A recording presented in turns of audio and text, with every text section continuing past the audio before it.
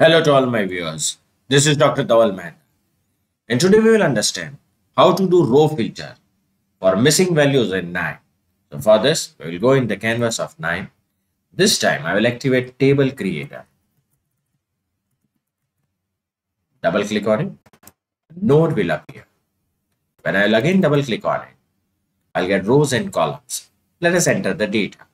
Say for example, this is the data which is related to the age 45, 34. Deliberately, I will keep one row as a missing observation 67, 76.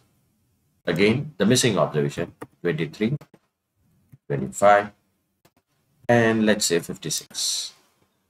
Right click on it and change the column properties and say it is a age and make this as a string. Click OK. Now apply. Click OK.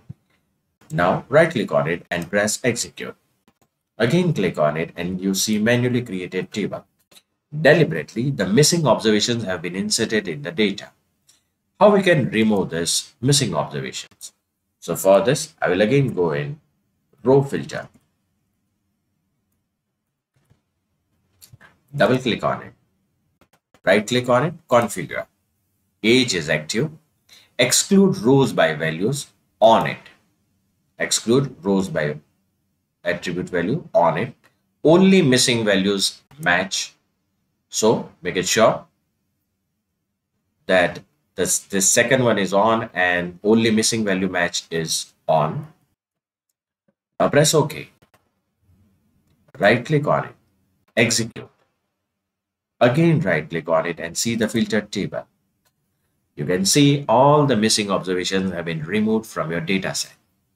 So this is a way you can deal with the missing values in KNIME. For more videos on KNIME, kindly subscribe to my channel. You can follow me on LinkedIn and Twitter. Please refer my playlist in which I have already uploaded many videos on